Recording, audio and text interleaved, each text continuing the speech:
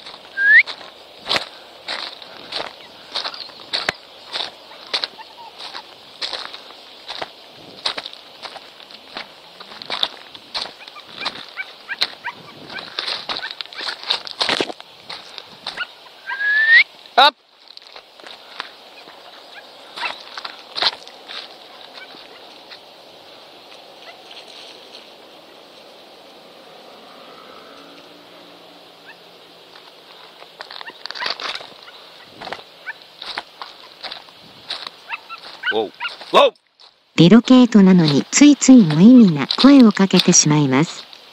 無意味な証拠に、ウォーと言っても何の反応もありません。結局、ラッキートリガーの本能的なブレーキングを信じて突き止めポイントを待つしかないのです。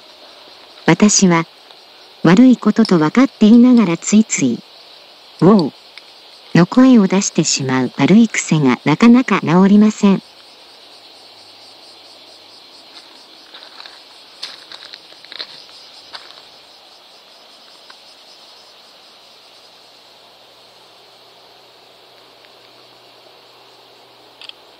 エルフューポインターのブレーキングは本能的な能力ですので一旦ポイントすれば見ての通り、ブレーキングを破ることはありません。はい、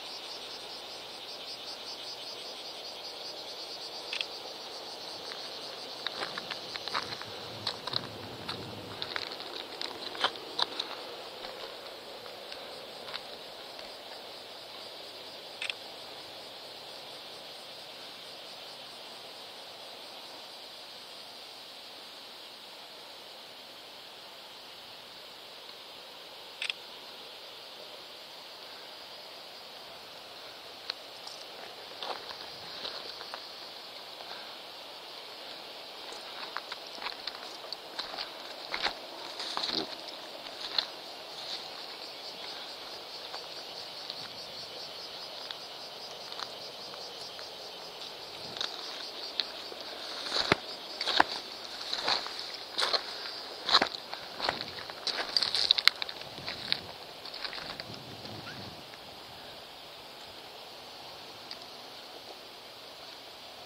ド。グ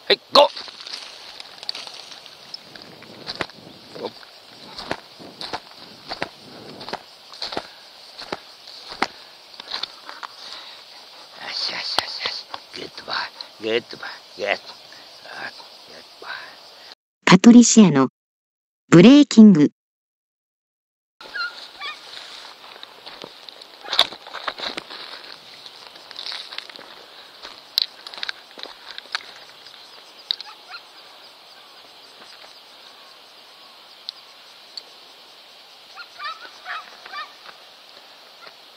はい、ゴー